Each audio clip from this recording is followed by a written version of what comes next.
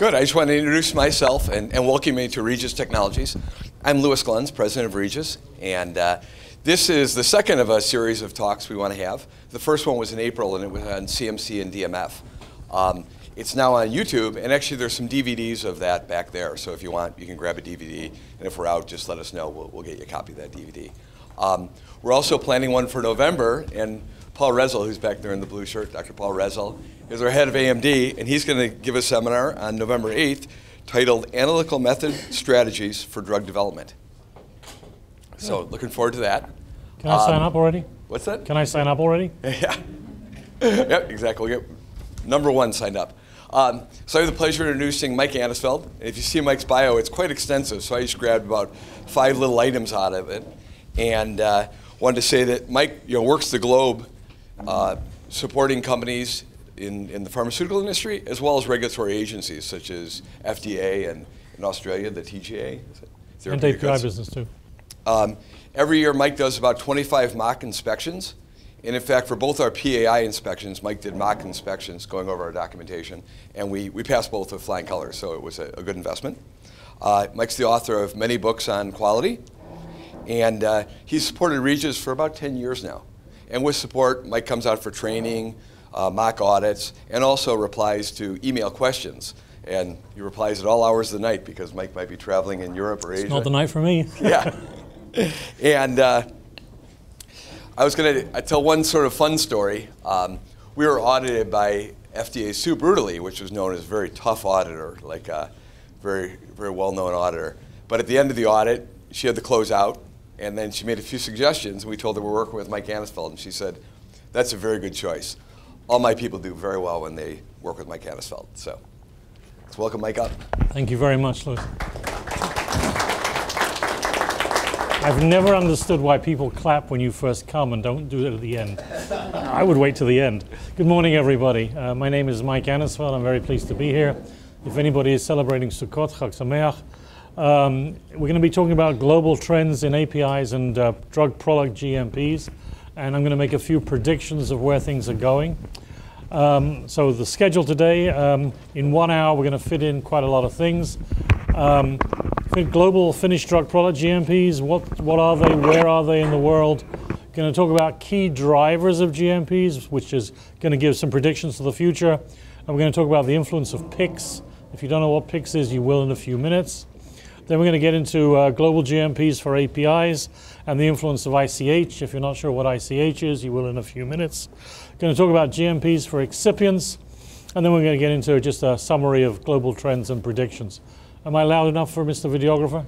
Yeah. We're okay. All right.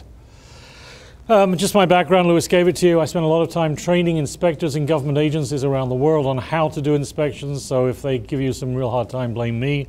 Um, I work on both sides of the fence, both for clients overseas and in the USA, and with uh, inspectors, so I see both sides of the field. So I think I'm in a position to give you some hints and ideas of where things are going. Um, let's get into uh, finished drug product GMPs worldwide, and then, because that historically was the first GMPs, and then we'll get into API GMPs and excipient GMPs. Am I blocking your screen view? Okay. Um, you have all the slides I have here except for two, which I added this morning, because I always go through very nervously at 5 in the morning. And, uh, you know, I should have said this, so I just added a couple. So if you want this entire presentation, uh, give me a card, I can send it to you on an email, or wait for Louis and his DVDs and his YouTubes. All right, GMPs are effective in 104 countries worldwide, including such major pharmaceutical centers of excellence such as Chad. You've heard of Chad? Little country in Africa with zero pharmaceutical industry. Why they have GMPs, I have no idea, but they do. Uh, the principles of GMPs are the same wherever you go. Documentation, validation, error correction, etc. The principles are the same.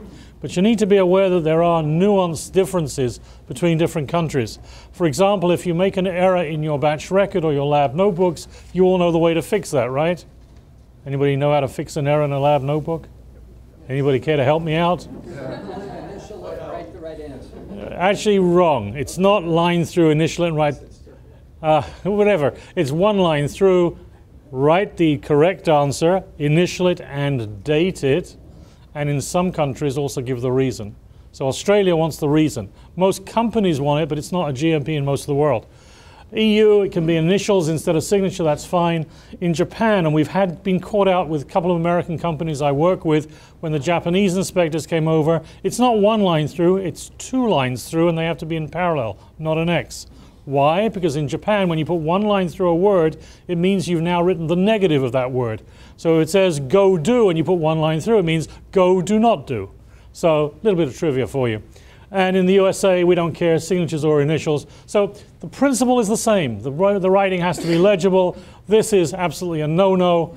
And when I ordered, this is not a, this is not an old picture. And if you, if, and if you open that door, you'll find four backup bottles. I mean, so you know these are the no-nos in the world.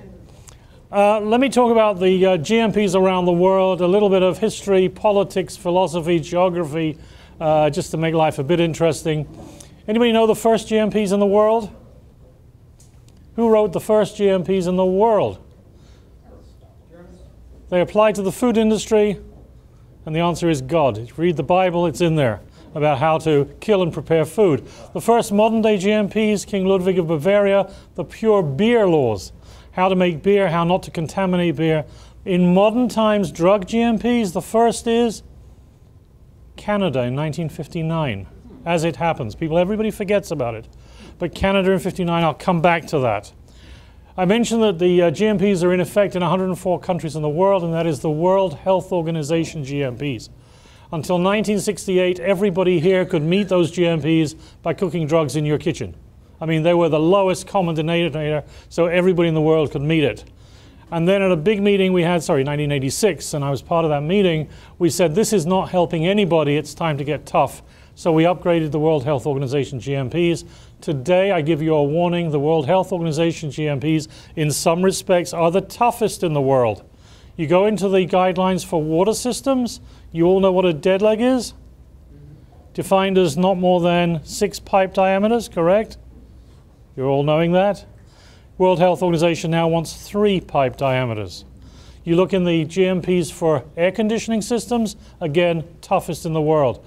World Health Organization GMPs are adopted by all the signatory countries, 104 of them, and they have five to seven years to update their GMPs to reflect WHO. So if you want to keep track of WHO GMPs, it's giving you a five-year lead into where American GMPs are headed. So look for a change in the definition of dead legs and a few other things. It's the official GMP in Russia, China, um, India, uh, most Arab countries, most African countries except South Africa, most Latin American countries except Brazil and Argentina. So very wide influence WHO GMPs. You then have the Europeans. Now the Europeans are bizarre, and I can say that because I am a European. I'm British and I'm an American, both. Europeans tend to go to war every 40 years. I mean, if you go through history, every 40 years, every second generation, there's a war. So in 1870, Germany invades France, loses, end of that war. 40 years later, 1914, Germany invades France, World War I, loses, end of that war. 40 years later, 1940, Germany invades France and other places, uh, ends up with World War II, loses that war. After the war, about 10 years later, and this is, I've read this now story now in several different places, so I assume it's true the chief economist of, Italy, of France and the chief economist of Germany happened to be being at the same hotel in the summertime for vacation. And they're sitting around the pool, and what do you discuss with a colleague around the pool? Both of you economists, you discuss why are wars happening? Why do people go to war? And their conclusion is because you have what I want. So I invade you to get it. And as economists, they said, well, what happens if we linked our economies together such that if you go to war against me, everybody loses? And they thought this was a great idea, and they said, let's do that. And that gave you the start of the European Economic Community in 1958. Six countries, the biggies Germany, France, Italy, the little ones, Holland, Luxembourg, Belgium, got together and said, we are going to share our economies. Free movement of, in, of money, free movement of goods, free movement of labor. Anything can move anywhere. If it's approved in one country, it's automatically approved in the others. So for the drug industry, if France approves a drug, automatically saleable in any of the other five. Great idea, yes? That was the European Economic Community. The thought of GMP never came up to them. All right? 1970s, so that was the club of six, all rolled into the European. It took me hours to get that. boy, um, six countries. Meanwhile, all the countries around those six and the rest of Europe said, oh my God, they've built a wall around them, we won't be able to trade. So we better set up a competing group. And they set up what's called the European Free Trade Area, the same thing but with one extra wrinkle. They said, for drugs, we will have GMPs and we will recognize each other's inspections. So if one country has GMPs and inspects, we don't have to go and inspect in the other country. We can, but we don't have to. That was the Pharmaceutical Inspection Convention. All right? So they started sharing inspection reports, started sharing inspector training. Then a bit of a catastrophe happened because the European club in the middle there was so successful economically, all these countries started joining them. So they all joined them, and now EFTA is left with basically three countries. It's nothing. But when these countries joined the European Economic Community, they said, okay, where are your GMPs, Europe? And Europe says, we don't have them. And so they said, well, we do. So Europe said, fine, we'll adopt yours. So the PICS GMPs, Pharmaceutical Inspection Convention GMPs, became, except for two words, the European Union GMPs. So Europe and the PICS group have the same GMPs. The two words that are different is qualified person. In America, we don't have that concept. In European law, only one person in the company, called the qualified person, can release product to market. That person has to be a pharmacist and has a lot of training. There's one in this room that I know of, and that's me.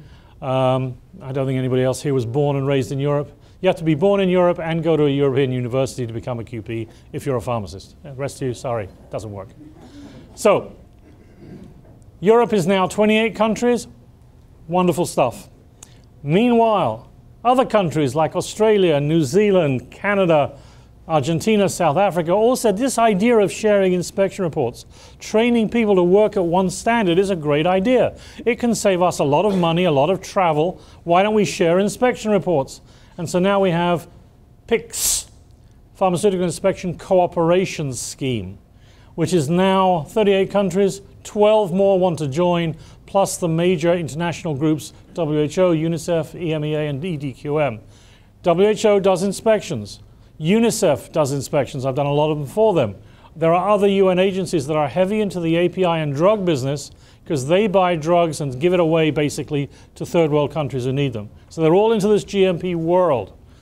All right. Now, I mentioned a lot of other countries Japan, Korea, um, Philippines, um, Mexico are all wanting to join PICS. So we're going to end up in about three or four or five years' time with about 60 countries having one GMP code, one GMP inspection methodology, and trusting each other's inspection reports. FDA was forced into doing it by Congress, who said, we can't afford you to keep, keep going all over the world. FDA has joined PICS, but it doesn't really take part in the sharing of inspection reports yet. That is coming. Ultimately, what's going to be coming is that all the inspections will be done by the PICS groups. If, if South Africa did a company in South Africa, FDA is not going to bother going because they'll trust the South African inspectors. ASEAN, group of Southeast Asian nations, wants to set up a common market like the Europeans do to trade goods. They're trying to write GMPs as out of the 10 countries, six belong to PICS. Have a guess what their GMP is going to read like. I mean, it's a no-brainer. Same thing in, um, come back to that. Same thing in South America. Mercosur, uh, South American Common Market, they have one overriding philosophy in their GMPs that you don't know about here, and that's a term called mañana. You know mañana? It'll come someday. They've been working on joint GMPs for 30 years, yet to happen. The biggest influence on GMP in the last 20 years has been ICH, International Conference on Harmonization, that is harmonizing many, many aspects of drug registration so that you don't have to do things three times. 20 years ago, if you wanted to register a drug in Japan or Europe or America, you had three different stability studies with three different temperatures, humid humidity conditions. Everybody said, the regulators and industry, this is nuts. Let's have one system. And so they've harmonized aspects of stability studies. If you follow ICHQ1, you will be okay everywhere worldwide. If you follow ICHQ2 on validation of analytical methods, then you'll be fine worldwide. And now ICH came out with GMPs for active pharmaceutical ingredients, APIs. So the American guideline on APIs is identical to the American guideline on GMPs for APIs in Europe, which is identical to the one in Japan. It's one harmonized API GMP, courtesy of ICH. The biggest impact of ICH has changed the whole way of we doing inspections because ICH came up with the concept of risk management. ICH came up with the concept of quality by design. ICH came up with the concept of management responsibilities. And ICH has now come up with the concept of quality by design for APIs. So ICH is a big driver in GMP um, concepts. PICS is the big driver in the concept of how to do a proper inspection. Okay? The big unknown in all of this is India because India is a huge exporter of, pharma of, pharmaceuticals and an even bigger exporter of APIs. In Europe, 80% of all APIs come from India. India doesn't belong to anybody, any organization. It's not ICH, it's not PICS, and it's there by itself. And the GMPs in India come from 1963, known as Schedule Schedule M. And they have some bizarre things. You cannot put an expiration date on a finished product in India that is longer than the expiration date on any of the APIs you used.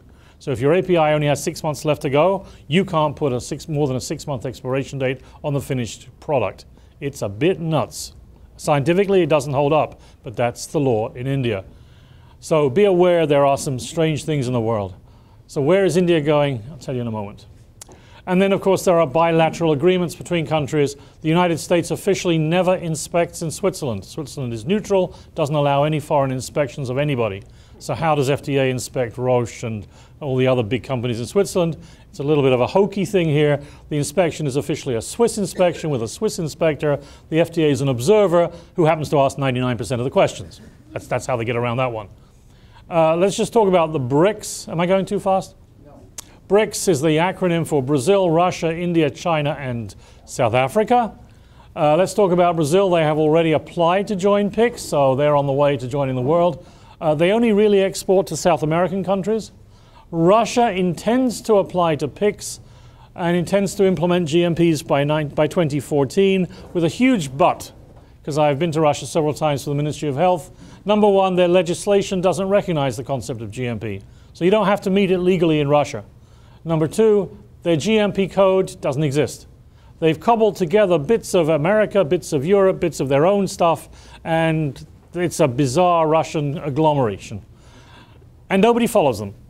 And they only have one inspector in the whole of Russia because that's all the budget, and she doesn't have a travel budget, so she is stuck in an office in Moscow. Um, Russia is a tragedy from a GMP perspective and a drug quality perspective. 80% of all the drugs sold in Russia are actually imported because even the Russians don't want their own stuff. Uh, I was with the Mongolian Health Authority, and they were telling me their biggest source of problems in Mongolia is fraudulent drugs, of which 99% comes from Russia. That's telling you the Russian situation. India, uh, there's no industry or government consensus on joining anybody like ICH or PICS. They're thinking about it. That's all I can tell you. Uh, one of the biggest problems in India is a bureaucratic Indian government problem. The only people allowed to travel overseas who are members of the Indian government are very high director level and above. But PICS works on the basis of having joint inspections of everybody at a lower level. So just from the bureaucracy, they would have to change the bureaucracy in India. China intends to join PICS in 2014, but they keep pushing that date off year by year by year. Uh, I do annual training of the Chinese inspection force, and they tell me the following. They need inspector training. In China, inspections of sterile products are done on a national basis out of their Beijing office, but anything other dosage form tablets, creams is done on the local basis. The local inspection agency does it, and there is no consistency in GMP application there at all. There's no consistency in training, and at the local level, there is no such thing as a full-time GMP inspector. They're part-time academics, part-time hospital administrators, part-time senior army officials, or senior Communist Party officials whose knowledge of GMPs and drugs is zip. Uh, I don't want to say anything bad about the Chinese Inspection Authority, but the senior inspectors in many provinces tell me what the letters GMP really stand for. You think it stands for, GMP stands for Good Manufacturing Practices. As far as they're concerned, it's an acronym for Give Money, Pass.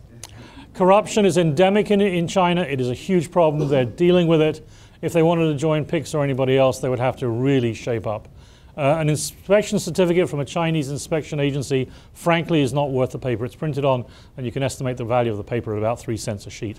Really, it's, it's just not. South Africa is a full member of PICS. They're the first in Africa. Uh, I was just there recently, three weeks ago, giving a training course to their inspection agency. They will become good. They are bright people, they know what they're doing, and they're very concerned about the quality of drugs, especially the quality of drugs coming from India, and they're now also beginning to have an international inspection program.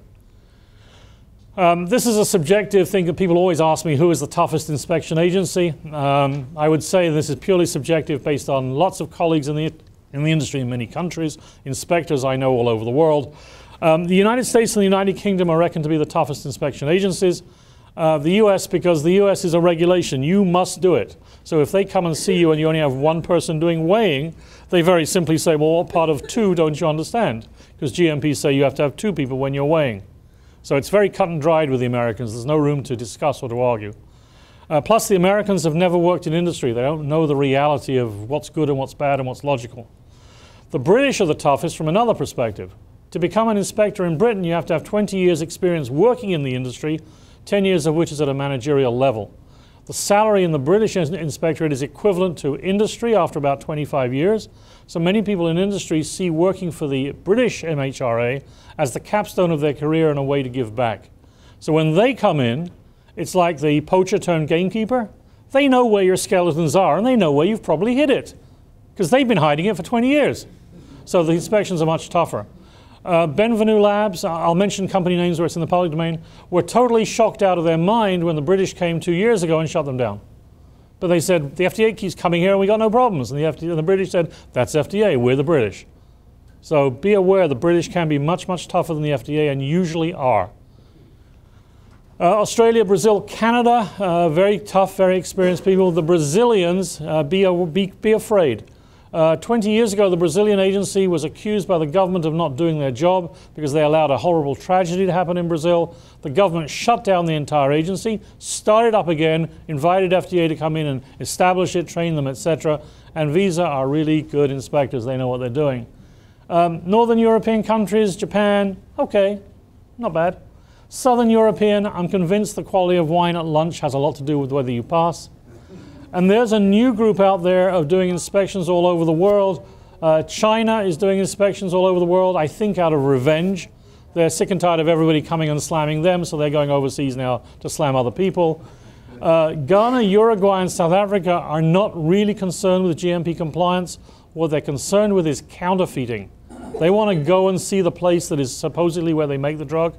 If they get there and they exist, that's 90% of the inspection over. And you'd be amazed, my South African colleagues tell me, of how many places they go to where the company doesn't exist. They have started the concept that when you register a drug, you also have to give the GPS coordinates of the facility. And that's helped them tremendously. And FDA has also now picked up on that. And officially, pretty soon, they'll start asking for GPS coordinates of all your facilities, especially overseas Chinese, Indian facilities. So that's coming up too. And then when you have the coordinates, you can look on Google Maps and see if it actually, oh, it's, an open, it's a river. I mean, where's the factory?